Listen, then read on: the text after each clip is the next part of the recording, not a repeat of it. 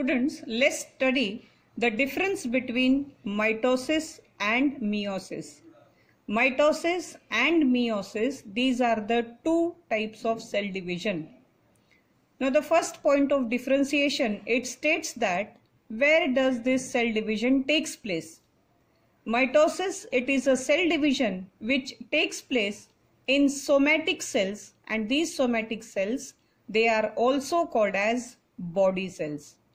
Whereas meiosis, it takes place in the germ cells that is germinal epithelial cells or reproductive cells. Mitosis, this is a cell division in which the cell divides only once whereas in meiosis the cell divides twice that is first the cell will divide and then later on again it will divide. That is two times the cell divides. And then in which cells this cell division takes place? Cell division that is mitosis it occurs in haploid and diploid both. Whereas meiosis it occurs only in diploid cells the time taken for mitosis is short compared to meiosis. That is mitosis, it is of shorter duration and meiosis, it requires more time. So the duration of meiosis is long, hence longer duration. At the end of mitosis, two daughter cells are formed. Whereas at the end of meiosis, four daughter cells are formed. This is the most important feature that you have to remember of mitosis and meiosis. Another changes that includes are the offsprings which are produced, they are similar to their parents.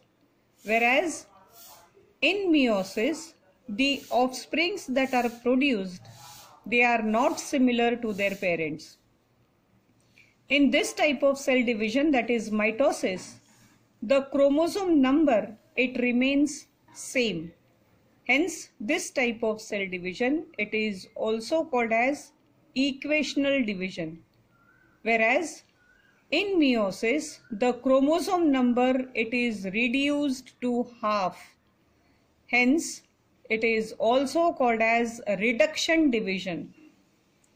In mitosis there is no pairing of homologous chromosomes whereas in meiosis pairing of homologous chromosome takes place and this process it is called as synapsis this is asked for mcq or answer in one sentence what is synapsis synapsis is a process in which pairing of homologous chromosomes takes place. In mitotic cell division crossing over does not take place whereas in meiosis crossing over of chromosome takes place and the point where crossing over takes place is called as chiasmata or chiasmata whatever you pronounce. In mitosis there is no exchange of genetic material. Whereas in meiosis exchange of genetic material takes place during crossing over.